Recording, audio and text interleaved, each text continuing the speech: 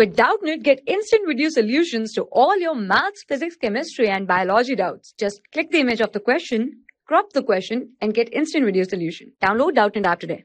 Hello everyone. So the question is if the length of a simple pendulum is doubled, then the percentage change in the time period is. So we know that the time period of a simple pendulum is given by the formula t equals to 2 pi. This is the time period of simple pendulum 2 pi under root L upon G where L is length and G is acceleration. Now this is the initial time period. Now in the question they are saying length is doubled. That means after double the length the time period can be written as the final time period. Suppose it is T dash that is equals to 2 pi under root 2L. Length is doubled upon G and we have to calculate the percentage change in percentage change in time period.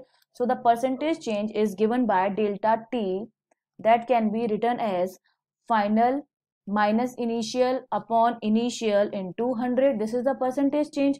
Now putting all the values the value of t dash is 2 pi under root 2l upon g minus 2 pi under root l upon g upon initial that is 2 pi under root l upon g into 100 this is the percentage change in time pendulum. After uh, after calculating this we will have the value as this value is coming out to be root 2 minus 1 upon 1 because 2 pi under root L upon G, 2 pi under root L upon G and 2 pi under root L upon G is cancel out. So we will have root 2 minus 1 upon 1 into 100. Now the value of root 2 is basically equals to 1.414.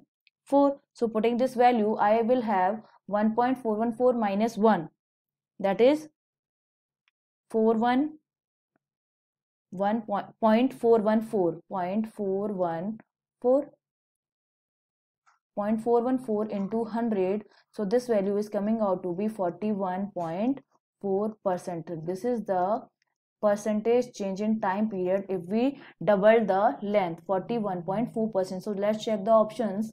The second option which is 41.4 percentage is the correct correct option. Okay? Thank you for class 6 to 12, IIT JEE and NEET level. Trusted by more than 5 crore students. Download Doubtnut app today.